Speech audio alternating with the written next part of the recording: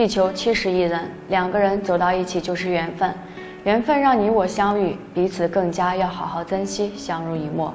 深到骨子里的爱情，应该是化爱情为亲情，已经成为彼此不可或缺的人，或大概就是有一天晚上你加班不在家，我都会害怕担心，因为我们彼此都是对方最重要的人。经历了繁华，剩下的都是最真实的。因为我们都已经习惯了彼此，爱吃什么，爱做什么，喜欢穿什么样的衣服，喜欢看什么样的电视，都已经了如指掌。而且在一起久了，两个人的脾气也都会时间磨尽，更多的是爱护体贴。也许你偶尔会发个脾气，但我都知道你是为了我好，所以我能接受。再一个是我已经知道你发完脾气会怎么做，所以我还是很欣慰。互相包容，互相鼓励，互相理解，人生就是这样慢慢走过来的。看着身边的孩子慢慢长大，别提多开心了。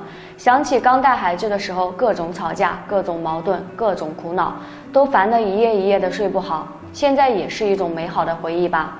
爱一个人，不光要爱对方的优点，一定要学会宽容他的缺点。因为每个人的脾气都不一样，也许你认为是一件小事，可在对方的心里就是一件大事。性格也是如此，有的人性格张扬，有的人性格安静，有的人性格平稳，有的人性格浮躁。所以要学会包容。